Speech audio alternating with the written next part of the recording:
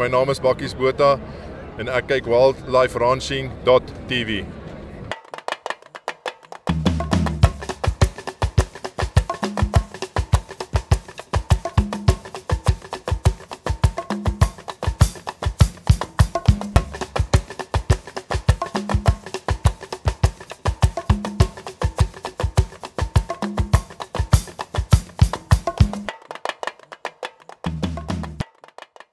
Hallo kykers, my naam is Lise Prinsloo en ek is bly julle is vanaand saam met my hier by die Pieter Tooi groep Wildsveiling. Dit is vir ons 'n voorreg om hier te wees. Hier is groot opgewondenheid. Dit is 2 ure voordat die veiling afskop en hier is heelwat mense en ons glo dat daar 'n paar rekords gaan spat. So, kom kyk saam met my na dit wat gaan gebeur vanaand.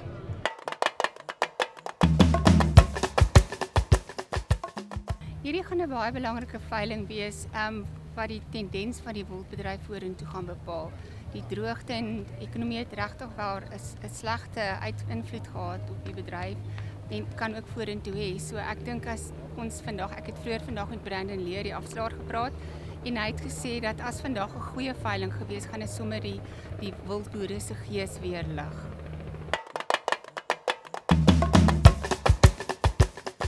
Loot, dit is so lekker om jou te ontmoet en jou te hê vandag. Jy is die CEO van die Wildswinkel en jy bied vandag se veiling aan.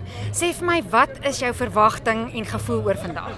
Ek dink eerstens ons is verskriklik opgewonde om die opkomste te sien van uh, die hoeveelheid mense wat hier is. Ons sien dis die regte kopers wat hier is. En dis 'n voorreg vir Wildswinkel om namens die wildbedryf amper hierdie veiling te kan aanbied. Uh namens Piet en Beyers en Stefan en Jaco. Uh so ons is baie baie opgewonde. Die mense stroom en dis helikopters wat land. Ons verwag om so 800 mense te registreer vir die veiling.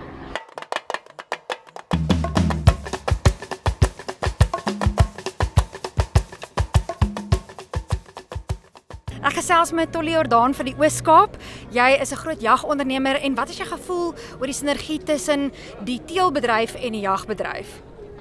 Ek dink dit is van absolute belang. Uh die teelbedryf en die jagbedryf vul mekaar aan. Jy weet sonder 'n jagbedryf sou daar nie 'n teelbedryf gewees het nie. En ek dink party ouens mis daai punt dat hoe belangrik dit is dat daar 'n jagbedryf moet wees en dat dit gesond moet wees.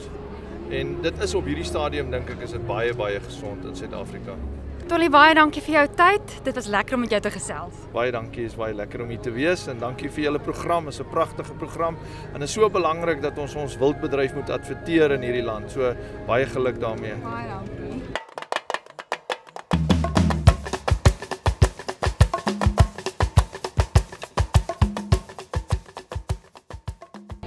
Sê vir my Barend op vandag se veiling. Wat is jou verwagting vir vandag? Die wildindustrie is nog steeds op 'n baie hoë hoogtepunt en ek verwag groot groot gebeure vandag. Ek dink dis so voorreg om hier te kan wees. Voorreg om in die wildbedryf te kan wees en ons sien met groot verwagting uit wat vandag gaan gebeur.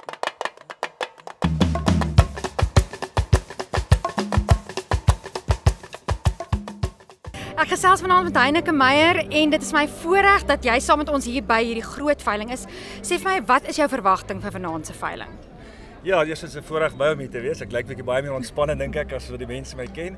Ehm um, nee, ek dink uh Pieter Tooi is een van die van die beste en welbekendste wildsboere en uh laas jaar was 'n ongelooflike goeie veiling en uh, baie professioneel en vandag sal hy self te wees en uh ek het nie altyd tyd gehad om die veilings by te woon nie, maar hierdie is definitief een van die top veilings, nie die top veiling nie.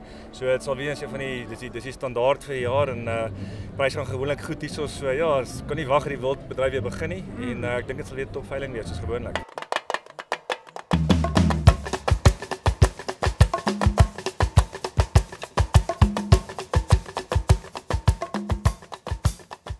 Such a elite, elite auction, do you think that it is the standard for prices for the rest of the year? What is your feeling about that? Well, my view is that uh, top quality always sells. Uh, I think the standard is top genetics, and top genetics will always get good prices at any time of the year. Uh, however, this auction just breathes that much needed energy into the industry in the beginning of the year.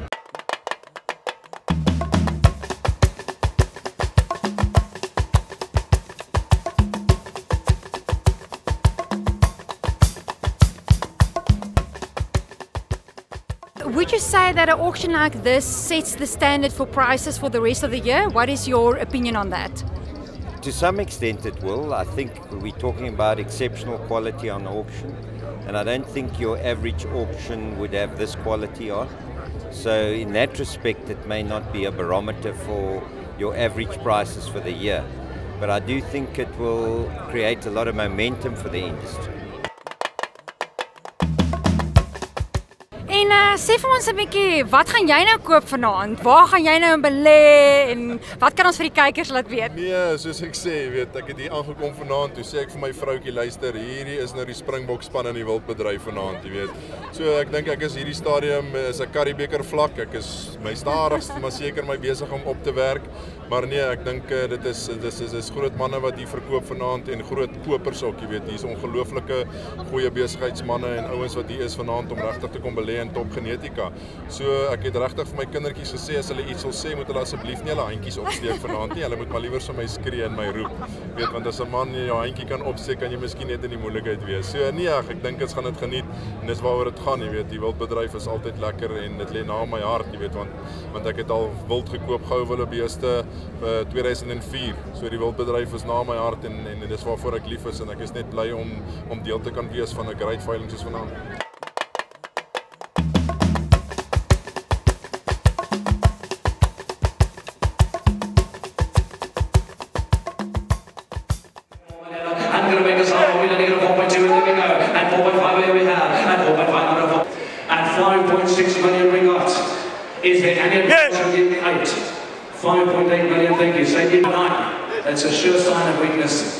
He's going low, 5.9. 5.9 we got there. Yeah. 6 million told you. 6 million more is taking a 6 million there. I'm going to make a 6, get a 6 million there. I'm going to get a 6 million at the time now. I'm going to make a sound that we had the number 6 million against you. Same round here. He has the hammer then at 6 million round the ring. Going to make a sound. Any advance? Are we all through? And run this time at 6 million or not? All through. And on again. 6 million to new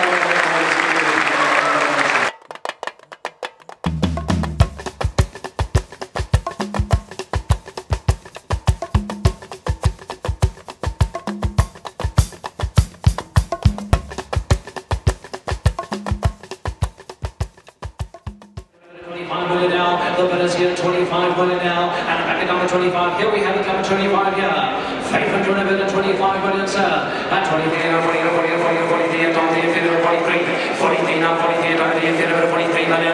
43 here, at 43 million now. Another time, what do we say? At the infinite 43 million. And the bid is here, 43 million there. What do we say? Well, come on, guys. At 43 million, and we can start closing in now. At 43 and 4.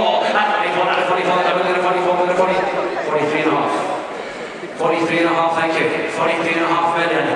43 and a half million, 43 and a half, there we go. I'm going to miss it at 43 and a half million now. What do we say here? At 43 and a half million. I'm going to make a summary down there. At 43 and a half million now. The bid was same run at 44 million. 44 we got same run against you, sir. 44 the bid is here. Am I at 44 now? 44 million there. Right at the flag this time at 44 million, guys. Are we through this time? At 44 million same runs. 44 million is against your team there, guys, and I'm going to sell, but we want to give them an opportunity at 44 million at the flag, any advance, fair warning, all through, 44, done.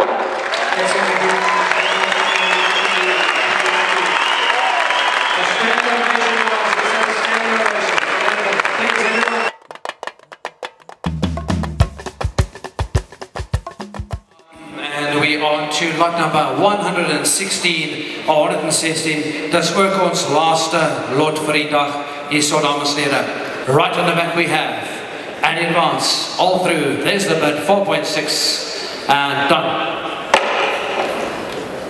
Warwick will talk a little bit later about them.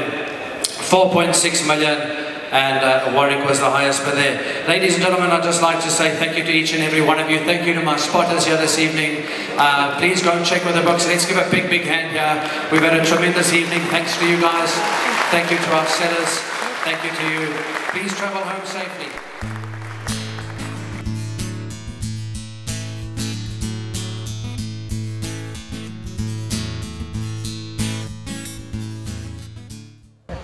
Hy, hoe gaan dit? Piet, dit is so lekker om vir jou net te kan geluk sê met 'n fantastiese aand. Ek dink dit was 'n ongelooflike sukses en jy gaan seker met 'n geruste hart vanaand slaap. Ja nee, nee ons gaan ons het nou is 'n maand en 'n half uh, non-stop werk en ja, ons is baie tevrede. Ek dink ons het uh, alles uh, alles uh, wat ons gedink het gaan gebeur, het gebeur en ja, kwaliteit bly maar net praat, nê. Nee. Sê vir my, hoe voel jou hart emosioneel nadat jy 'n paar kosbares moes laat gaan het? Ja, ek dink Mila Mila is maar die hartseerste, maar haar waarde, jy weet dit is so pragtige dier. Jy wil haar nie met geld jy wil haar nie met geld vergelyk nie. Ek het uh, tot 6 uur toe nog 40 minute voor die veiling was ek by haar gewees in die kamp. So ja, ek dink uh, ek dink uh, ja, die kwaliteit het net gewerk vanaand, hè. Ja, verseker. Wel, ons is bly dat ons dit saam met jou kon bywoon en uh voorspoed vir die res van die jaar. Nee, baie dankie. Ek waardeer dit. Lekker saam met julle te werk. Hey, baie geluk. Baie baie dankie. Baie geluk. Baie ondersteuning altyd aan. Stefan, baie geluk met 'n suksesvolle aand vanaand. Kentaro het rekordslatspat. Hoe voel jy? Ons baie dankbaar. Hy's maar nederig om so duur te verkoop met genetika en is alles gegeewe van bo vir ons. So ou sê baie baie dankie en ondersteuning van die van die industrie, uh Gamebase wat die bil gekoop het. Ek dink hulle het 'n fantastiese dier gekoop, die beste wat daar nog was, sy ouderdom. Ehm um, wens alle sukses toe en uh so graag wil sien wat om eendag weer kan terugkoop wat ek verkoop het aan hulle.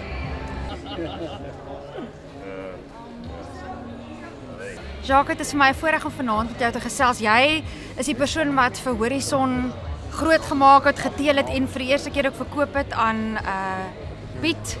Hoe voel jy oor die sukses wat nou uh so met die groei van die tyd verbygegaan het? Dis uitstekend. Ek is baie baie tevrede. Ek is baie gelukkig. Uh dit is regtig uh vir my 'n besonderse mylpaal om so pragtige dier te kon teel en ek is ook baie bly. Ehm um, baie mense vra of ek jammer is ek het hom verkoop.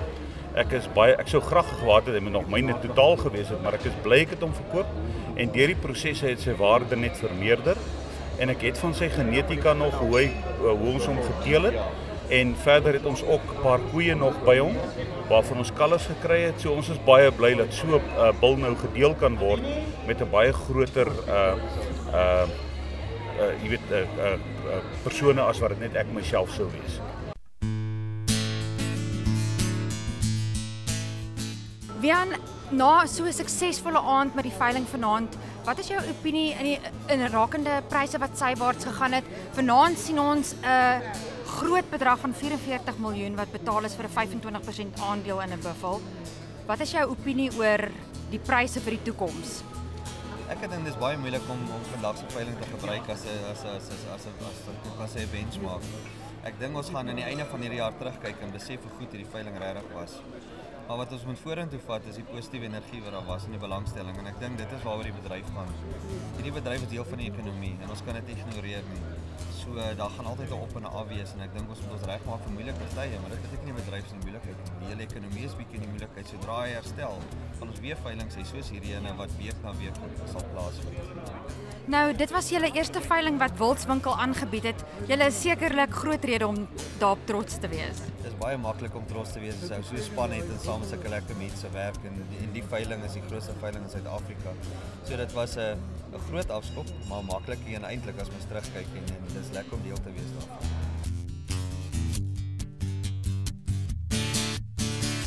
Louis, um, ek wil weet wat is jou betrokkeheid by Wildswinkel want dit was nou julle eerste veiling. So gee ons 'n bietjie agtergrond van jou betrokkeheid.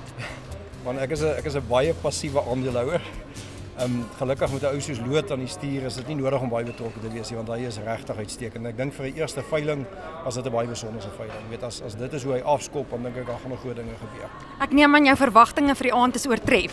Wie ons is ons was redelik akkuraat met die met die skatting op die turnover. Jy weet as jy kyk waar dit is, ons het baie ons het gedink dit is omtrent waar dit gaan wees. En ek dink die die uh weet as ou nou kyk hoe hierdie veiling afgeskop het, dit kan net goed wees vir die jaar. Jy weet baie ouens was bekommerd en hoe gaan dit wees? Maar ek dink aan die einde van vanaand dit dit was 'n goeie veiling gewees.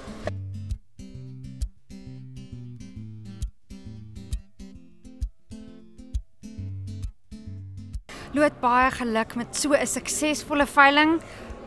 Wat is jou gevoel na vanaand? Nee, ons is baie baie tevrede en ons wil vir al die kopers sê baie dankie vir hulle ondersteuning en al die mense wat hier was wat die hele ding vir ons 'n sukses gemaak het en ons gehelp het om dit sukses te maak. Uh ons sit net bloot 'n platform daar neer en die mense maak dit 'n sukses. So ons is verskriklik tevrede met die uitslag. En jy seker baie trots op jou span wat saamgewerk het. Lyk my julle is een groot familie. Ons is omtrent 'n familie. Ek kan nie vir jou genoeg sê uh hoe dankbaar is ek vir hulle moeite en hulle commitment. Uh dit is fantasties om saam met hulle te werk en van die af kan ons net bou uh, die pad vorentoe. So ek neem aan daar's 'n paar veilinge wat vir julle voorlê vir die res van die jaar. Ons het nog 9 oor vir die jaar. Uh, ons volgende een is op die 16de April um, in die Oos-Kaap. Uh, dan doen ons die, die signature uh, veiling daar by Kwanwe. So ons sien baie uit daarna. Uh, en ons wil graag al die kopers uitnooi om ons te ondersteun daarso. Ons gaan uh, besonderse genetika op daai veiling sit. Wel nogmaals geluk met vanaand. Jy kan na jou skoene uitskop en lekker gaan rus. Baie baie dankie. Ek waardeer dit.